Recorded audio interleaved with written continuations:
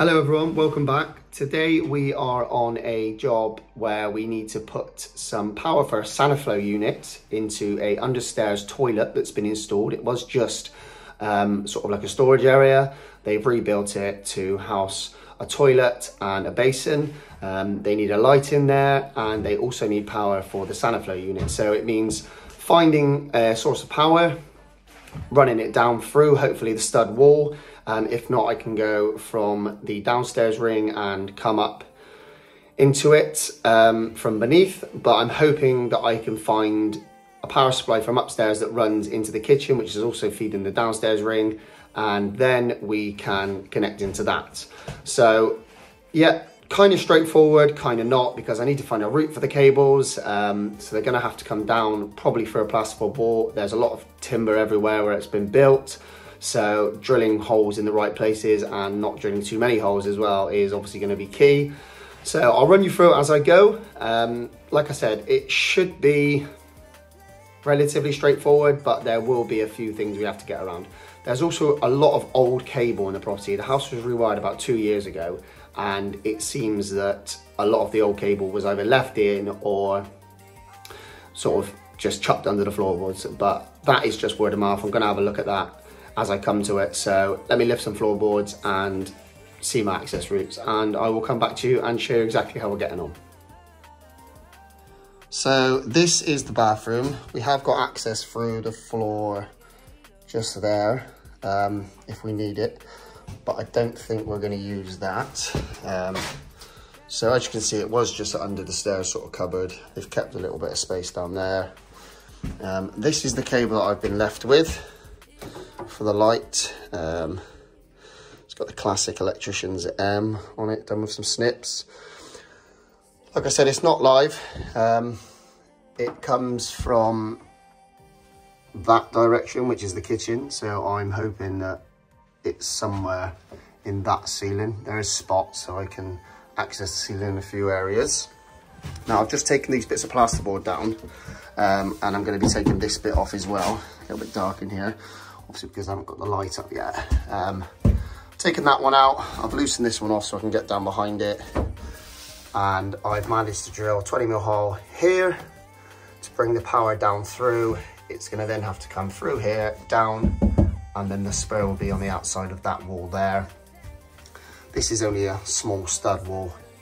Um, and up above here is the small landing area for the top of the stairs, which I've managed to get into um, through some floorboards, which I'll show you in a minute. Um, and that is how we're gonna do it. So I will just take you upstairs quickly.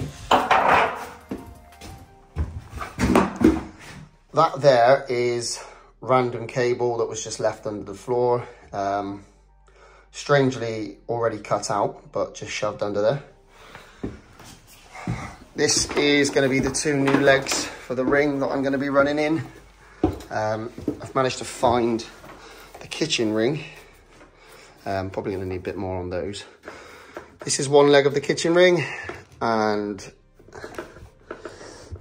this is the second leg of the kitchen ring. Now I have tested those. Let's test them again. As you can see, there's abundance of cable there. Some of this cable's live, some of it's not. For example, you pull up some of these big old ones. He's live. That one there's clearly not live, but um, it's showing live because I haven't separated it well enough. And obviously these are not the best, but they do a job when needed. Um, but yeah, no, we've definitely, definitely isolated this one and this one. That one's live. That is the lighting circuit, I believe, so we will need to find that at some point for the kitchen. So I've brought these cables up, managed to drill on a little angle from the top of the landing here, took this one board out. These two boards here are already loose. Um, managed to come up here and last those two cables there. Gonna put these into um, some Wago boxes split that ring there, um, put two of the grey Wago boxes in underneath the floor here, and then I will mark the board after just to say there's a junction box under there. and it's feeding the Saniflo just for future purpose. Um, and then, yeah, we're going to be putting a light somewhere about here and then obviously a pull cord probably this way, down here somewhere. Um, got to go and pick that up. So I'm going to get the fuse spur wired in. Um, like I said, there is a lot of old cable just left in here. You know, there was old cable from the time before that one by the looks of it. Uh, so yeah, let's um, crack on with that. So this one is obviously a bit of a call out. Um, it was chucked on me at the end of last week uh, to replace another job that we can't get back into yet where they've had the floors all downstairs covered in 100 mil of concrete. Um, so they've had to dig out the floors, fill it with concrete and we're waiting for that to cure. Then it needs to be polished. So I can't get back in there yet because I've got to put the lighting circuit in and also cut some chases for the downstairs ring. And obviously can't get any dirt on that floor just yet. So I'm going to nip off um, and get some Wago boxes so I can uh, break into this kitchen ring final circuit and put a spur in for that Saniflo. And I've decided I'm not going to put a batten holder in. I'm probably just going to put a single spotlight in for them because looking around the rest of the property, they have got um, spotlights in place. So I haven't actually spoke to the customer, I've dealt directly with the builder. However, I'm pretty sure if they come home to a spotlight, which is not going to be um, too much of a difference in price. Just going to put a lamp and can in for them. Um, yeah, it's a bit of a bonus for them and it's just as easy for me and there's loads of space to work with it. So I'm to nip off and get that now and then I'll see you back at the job when I get back.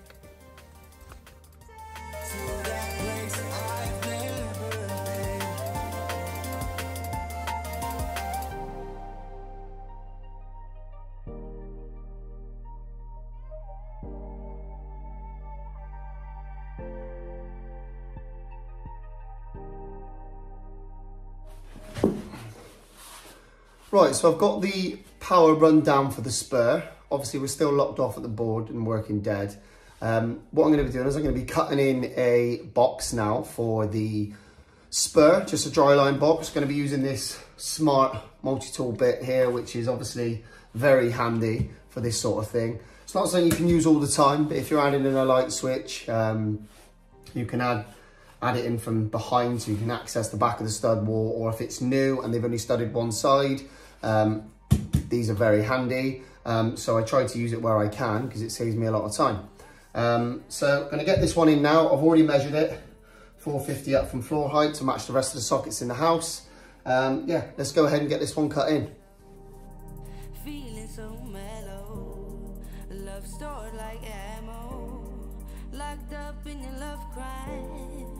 Time to let the doors blow. Whoa.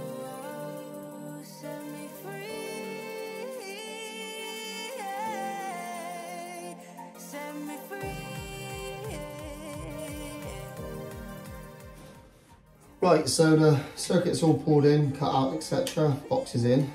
Um,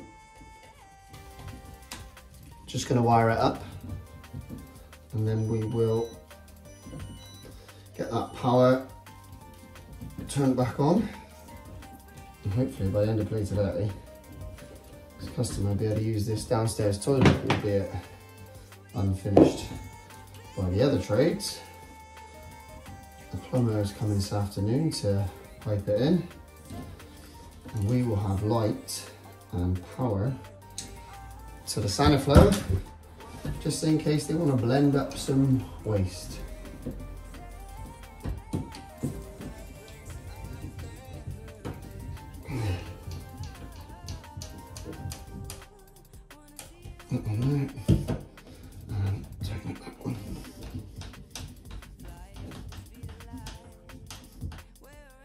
Lovely.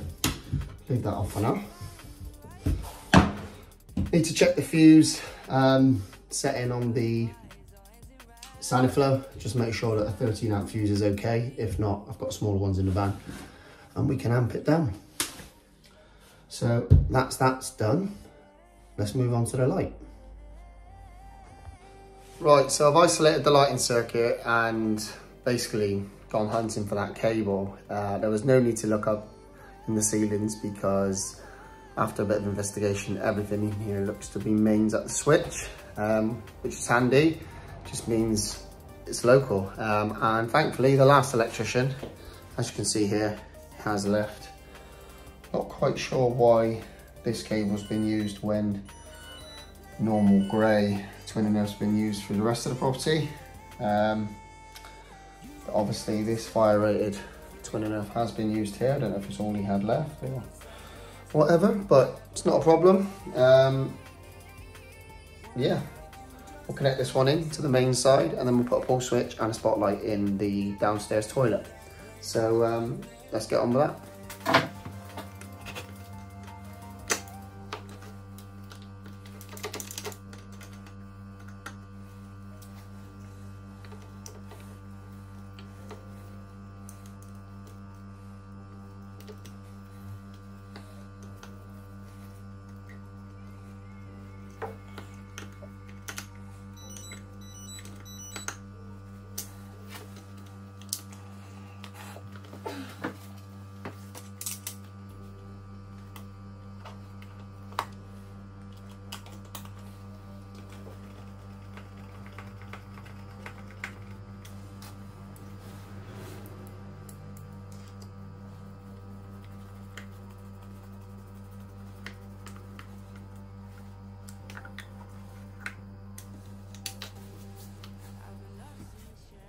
Right, so that's us all done here. Um, we've put a spotlight in here and a pull switch. As you can see down in the corner, the Saniflo is wired in and flexed out. And outside, as you've seen previously, we've got the spur for it. Job done. Um, it's taken a while, but uh, we've done it and uh, we've made a tiny job of it. So um, yeah, that's how we install a power supply for a Saniflo in a pretty much finished house. Thanks for watching.